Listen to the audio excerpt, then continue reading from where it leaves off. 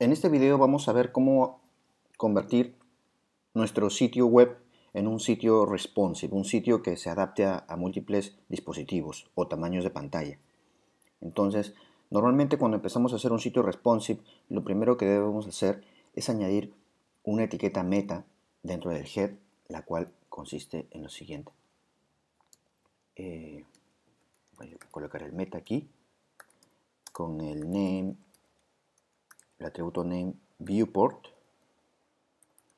y seguidamente el atributo content con device igual device width. Y el initial scale o escala inicial igual a 1.0 este atributo o mejor dicho esta, este elemento meta lo necesitamos tener en todas nuestras páginas. Entonces lo voy a copiar y lo voy a pegar en todas mis otras páginas. A ver, estoy en el index, voy al contacto,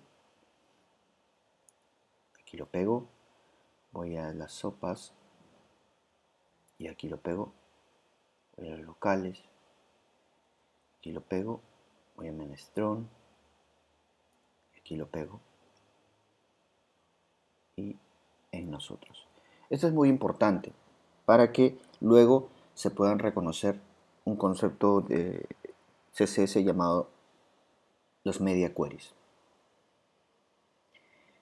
Bueno, me aseguro de guardar todo.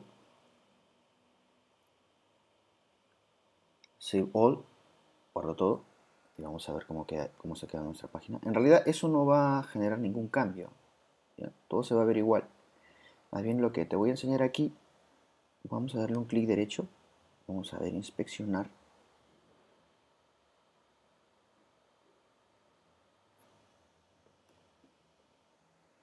Y vamos a ver cómo se ve nuestra web. En un, con esto ya nuestra web se está viendo de esta forma en un dispositivo. En un, aquí, mira cómo se ve. Esto se ve así porque tengo activado aquí en esta parte el, la barra de, navegación de dispositivo. O para verlo en dispositivos móviles si, lo, si le das otro clic, se vería como normalmente lo ves. ¿Ya? Aquí he anclado al lado derecho el, el inspector de elementos. Le voy a dar clic aquí, nuevamente. Y aquí puedo seleccionar cómo se vería mi web en un dispositivo móvil. De repente, cómo se vería en un iPhone 5 SE. O un 5 o un SE. Se vería de esta forma. Mm, para nada es lo que quiero, ¿verdad? Eh, cómo se vería un iPhone X, se vería así, ya no pasa nada. O en un iPad, a ver, vamos a ver cómo se vería en un iPad. Vamos a jalar esto un poquito para allá. En un iPad se vería algo así. Mm, bueno, en un iPad más o menos. Eh, pero igual, en el iPhone 6, 7, 8 se ve así. Ya, ok no se ve, no es como yo quiero que se vea la web. En primer lugar, eh, para un dispositivo móvil casi todos los elementos van a estar apilados de forma vertical. Entonces lo que voy a hacer es eso. Eh, recordar cuál es la propiedad que permite que los elementos se coloquen uno al costado del otro. Y básicamente es el display flex, para cuando queremos que los hijos o los elementos internos se coloquen en fila, ¿no? uno al lado del otro. Entonces voy a irme al... Primero vamos a arreglar el, el header, ¿ya? Entonces eh, voy a abrir la hoja estilos y nos vamos hacia lo que corresponde al, header. En lo que corresponde al header, por ejemplo, tenía aquí un display flex con un justify content space between. Esto lo voy a sacar. En todo caso lo voy a comentar. Lo comento y mira cómo se vería ahora esta parte de arriba, ahora ya me deja ver el logo, ¿no? Ya me deja ver el logo. Ahora igual, yo quiero que el menú de navegación, los elementos estén uno debajo del otro. Entonces me voy a ir a la sección del menú y también le voy a quitar el display flex que tenía aquí. ¿Ya? Entonces le quito el display flex y, a ver, vamos a ver nuevamente, voy a refrescar aquí y ya está, uno debajo del otro, mira. ¿Ya? Continuamos. Igual, acá tengo el main y el sidebar. Están uno al lado del otro.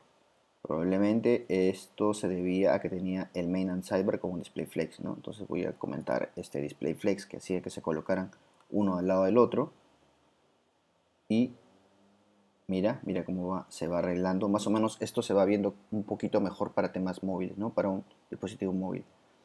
Ya. Aquí el detalle que esto no llega hasta hasta el extremo, todo este contenido, porque nuestro main tenía un ancho de 75%. Le voy a quitar ese ancho, lo voy a comentar también. Lo comento. Y el sidebar también tenía un ancho de 25%, también voy a comentar esa propiedad del 25%. Ya sabemos que al no darle un ancho a un bloque, este por defecto va a tomar el ancho del, contenedor, del elemento que lo contiene, o sea, el total. A ver, vamos a ver cómo queda esto. ya, ¿ves? Mira. Mira cómo va quedando. Mira, esto ya está prácticamente. Para dispositivos móviles ya está mi web. El único detalle aquí sería quitarle el border left, este rojito que está aquí a la izquierda. Y eso pertenecería, por lo que veo, al, al sidebar. Entonces también lo, lo comentamos. Lo comentamos. Y básicamente esto ya está. Mira cómo quedó. Voy a... Ahora el detalle es que si vuelvo a verlo en dispositivo en un tamaño normal, mira, ¿qué va a pasar? Es que mi web es así como se vería en un dispositivo móvil. Claro que no es ya lo que yo quiero para un desktop, ¿no?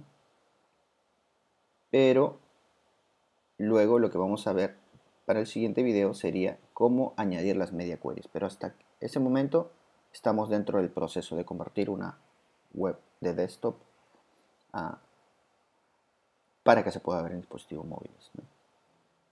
¿Ya? Entonces hasta allí espero me hayas entendido y